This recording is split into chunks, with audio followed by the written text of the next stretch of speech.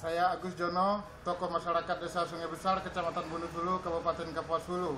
Marilah kita sukseskan pemilu kada damai tahun 2018 dan mendukung kepolisian negara Republik Indonesia menindak pelaku penyebar hoak karena hoak dapat memecah belah persatuan dan kesatuan bangsa Indonesia. Terima kasih. Stop hoak!